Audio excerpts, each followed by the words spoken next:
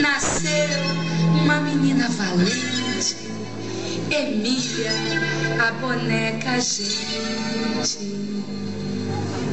Nos primeiros momentos de vida, era toda desengonçada.